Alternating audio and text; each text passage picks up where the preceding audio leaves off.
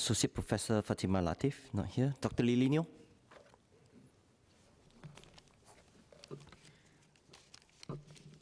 So breast cancer was the top killer of women cancer sufferers in Singapore from 2011 to 2015.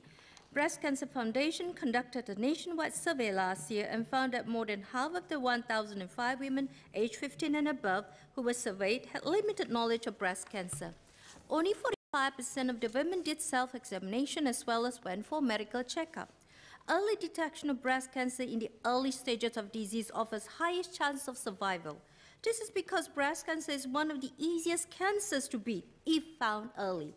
I am may ask MOH if there is an improvement in the early detection of breast cancer since the start of national screening in 2002, and have we achieved better outcomes of the prognosis of breast cancer in the past 10 years with better treatment?